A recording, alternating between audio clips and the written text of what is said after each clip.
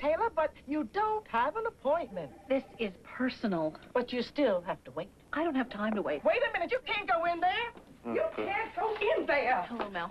I'm sorry, Dr. S, but I couldn't stop her. It's all right, Arlene. This is Jackie. The Jackie? Yeah. Oh, my gosh, I'm so embarrassed. Go right ahead, don't mind me. Jackie, uh, this is a surprise. Are you all right? Is anything wrong? Mel, I know you know. No, what?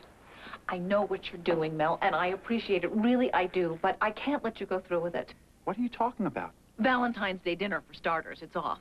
You came all the way down here to cancel a dinner party? Couldn't you have done that on the phone? I'm in the middle of a root canal. Well, this won't take long. I'm letting you off the hook. You should be thanking me. What hook? It's all over, Mel. I won't let you marry me out of some sense of obligation. Jackie, what are you talking about? Oh, come on, Mel. It's no secret that you don't want any more children. Admit it.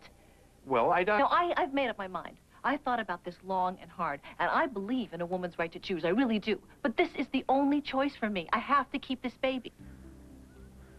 Baby?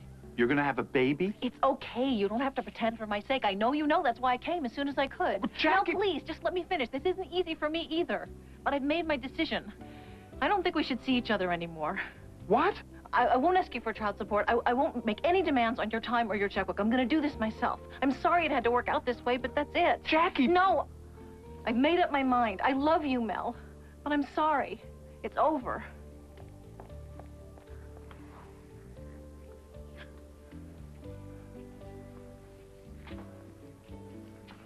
Did you hear that?